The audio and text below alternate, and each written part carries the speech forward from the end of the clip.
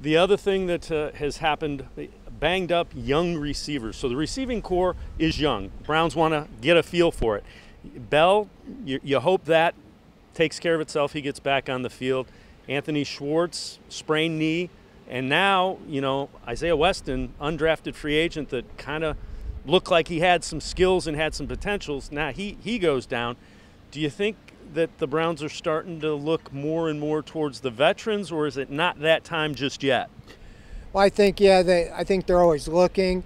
Um, the David Bell situation, you really don't know. They said that they didn't expect it to be long term, as well as Anthony Schwartz. So um, they did sign Derrick Dillon today, wide receiver, was went to LSU, and um, they they let Weston go, and um, I wouldn't be surprised to bring that guy back. You know, I think there was a lot of optimism about a six-four uh, kid who was long and lanky and had some speed. Um, unfortunately, he was injured. That's the way the NFL goes now. You get waived if you get injured, and they could bring him back maybe and put him on injury reserve or something later. But I do think I, I have heard they've talked to some or worked out some in the off season guys like Ken Stills.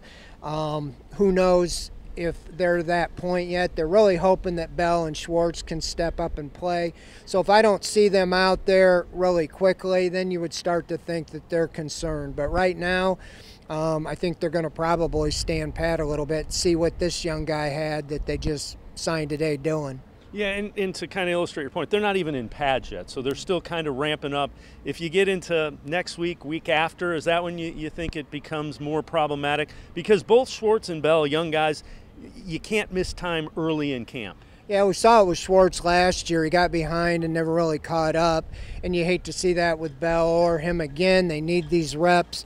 Um, but as you said, of all the guys that were on pup, to be honest, I thought the last one to come off would be Jack Conklin, and he's comes off first. So I would expect, you know, if something doesn't break with Bell or Schwartz this week as far as getting back on the field, then maybe you start looking to bring in a veteran. I don't think they're in panic mode yet, but I do think that the numbers with the pads and that guys always come up with, you know, hamstrings or or pulls and and so if their numbers get any thinner, they're going to have to make some moves at that position for sure.